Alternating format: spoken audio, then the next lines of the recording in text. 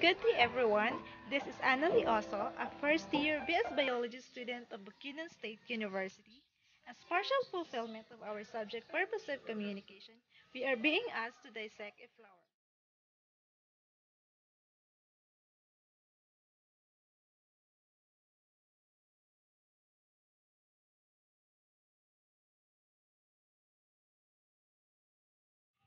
Now let us try to dissect the flower.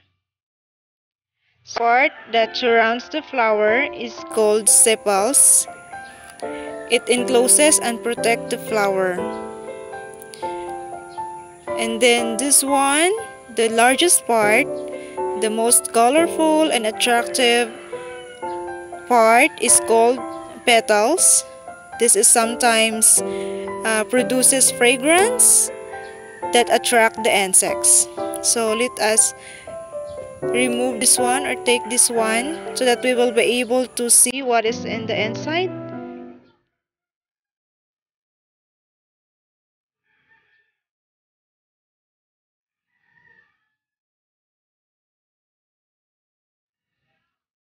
So see inside we have here This in the center is called the carpel.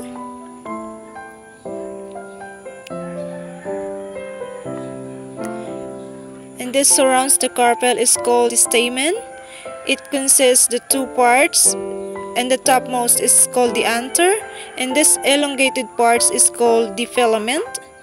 The anther it has lobes that produces the pollen grains that contains the male gametes is the male part of the flower. On the other hand, the, the carpel is the female part of the flower. The topmost is called the stigma and this elongated part is called style and this swollen part is called the ovary. The ovary contains the ovules that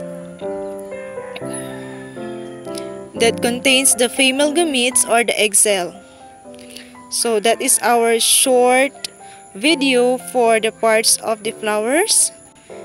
And thank you for listening. I hope you you learned something and I'll see you in the next one.